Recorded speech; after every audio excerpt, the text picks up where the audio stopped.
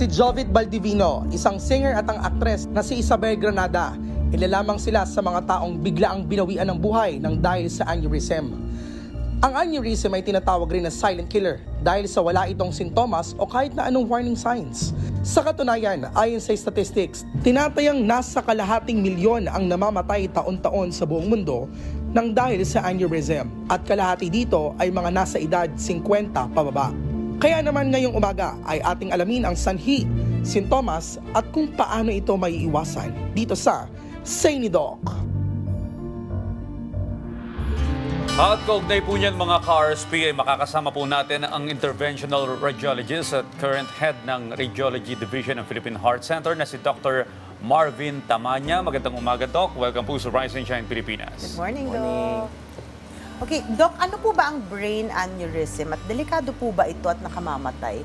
At gaano ito ka-common, lalo na sa mga normal na mga tao na um, akala nila okay sila, di ba? Okay, ah, ang brain aneurysm po is one of the causes of ah, yung tinatawag nating hemorrhagic stroke.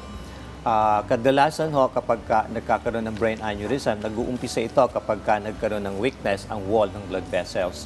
At once weakened ang wall, pwede po itong mag-bulge or lumobo yung wall, wall ng blood vessel until it ruptures. So, if it ruptures, it will cause bleeding within the brain of the patient and pwede po ikamatay ng pasyente yung pagdurugo sa brain nila. Well, sa nakikita natin kanina, no, uh, mga celebrity, no, Jovit Baldivino, uh, uh, Isabel Granada, na, na halos kasing age natin, ang babata po nito. At sila yung tinatamaan at nag, nagkaroon ng, ng uh, mga kaso rin ito yung pangkaraniwang mga mamayan din. Pero may iiwasan po ba ito? Meron po bang mga senyales na aneurysm na pala at hindi pangkaraniwang sakit lang ng ulo? Ah, well, sinyales po is ah, initially ang aneu- brain aneurysm ay walang symptoms. Ah, nagkukos lang po ito ng symptoms, nag-uumpisa siya magkaroon ng headache, ah, which is most of the time ini-ignore lang ng patient. Ah, until maka-experience sila ng severe headache, ah, which could be a sign of rupture already.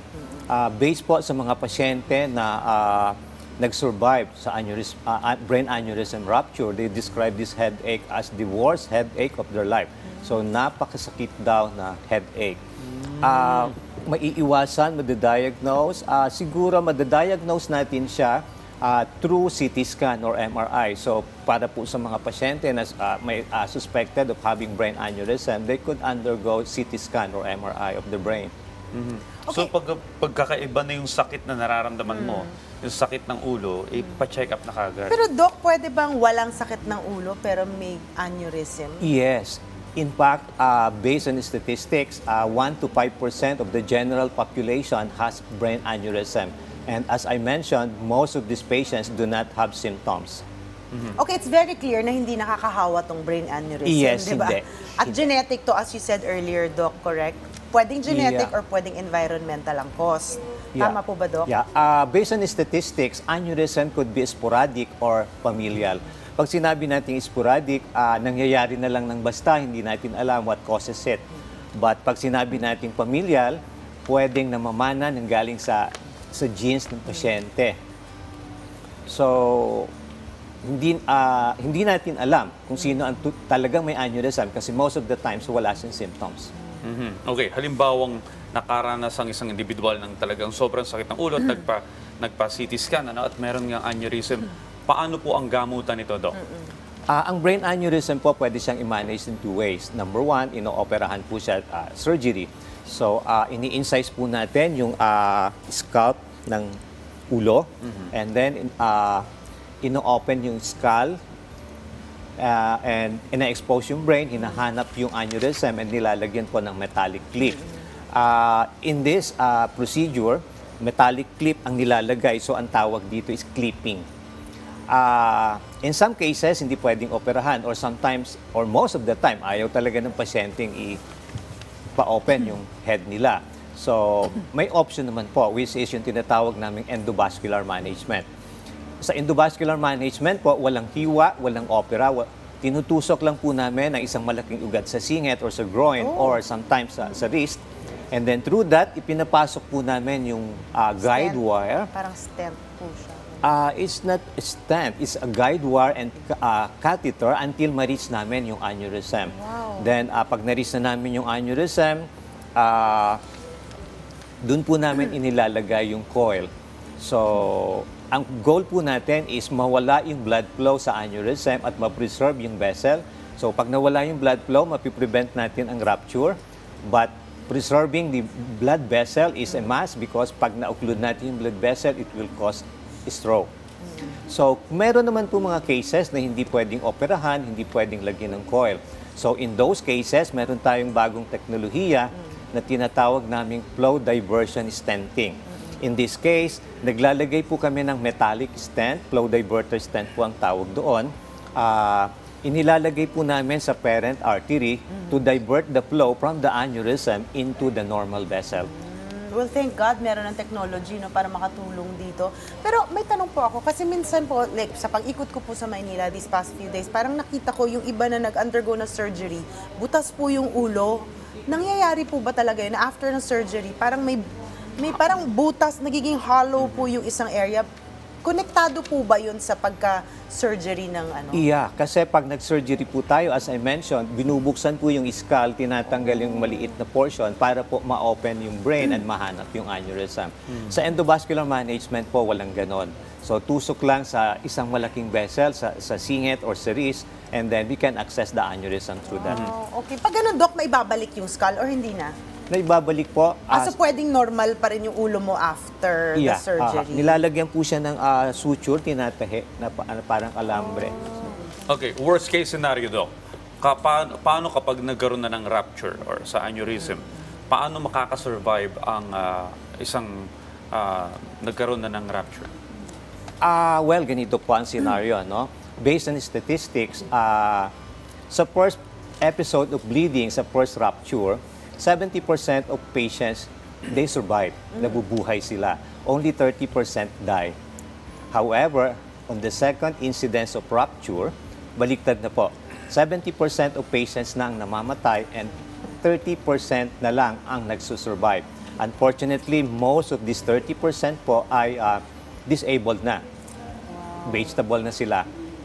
So, So, importante talaga na mag, mag- Maagapan. maagapan, Yeah. makita natin Yeah. prior And to. 30% po nag, ah, nag-suffer ng first bleed, pwede silang mag-rebleed. Pinakamataas po ang incidence ng rebleeding is during the first 10 days after the first bleed. Doc, may na-mention po kayo kanina na sinabi nyo na prior to pandemic, mas marami na ngayon daily ang cases ng aneurysm. Bakit kaya ganun ang nangyari, Doc? Is it uh, stress-related or environmental, uh, I don't know, ba- ba- bakit po naging ganun? Well, ah, ang may mga reports po na ah, iniuugnay nila ang stress sa pag-develop ng brain aneurysm. Ah, but of course, malaking factor din po ang ah, lifestyle ng pasyente. Ayun na nga. Well, nabanggit mo na yung lifestyle, Doc. Ano po ba yung pwede natin gawin para hindi natin sapitin o maranasan itong uh, aneurysm?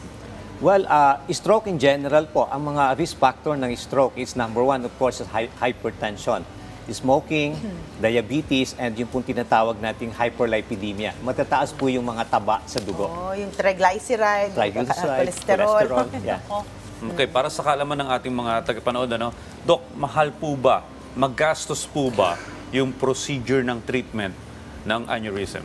Ah, well, medyo may kamahalan po yung ah, mga procedures ng aneurysm. Ah, ah, alin man po doon sa tatlong binanggit ko, medyo may kamahalan. But of course, the cost depends kung saang hospital gagawin. Siyempre, kung sa private hospital, medyo mas mataas. Kung sa government institutions, medyo mas mura. Ah, in our institutions, ah, pwede ko po bang banggitin ang ah, hospital? So ako po ay connected sa Philippine Heart Center, is a government institution.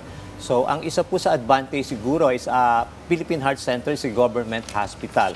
So kami lang po ang merong 7 cath labs sa buong Pilipinas. Although ang mandate po ng aming institution is to treat patients with cardiac diseases, ah, our facilities are capable of treating aneurysm and other endovascular procedures. Wow, magandang balita yan, lalo na sa mga kababayan natin na medyo salat sa buhay at walang pangbayad. Diba? At least meron tayong suporta na ganyan mula sa gobyerno. Well, mensahe o paalala na lamang po, Doc, para sa ating mga ka-RSP?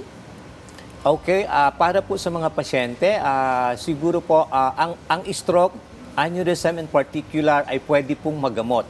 Dapat lang po alam ninyo saang lugar o saang institusyon kayo dapat pumunta at ah, ayun po.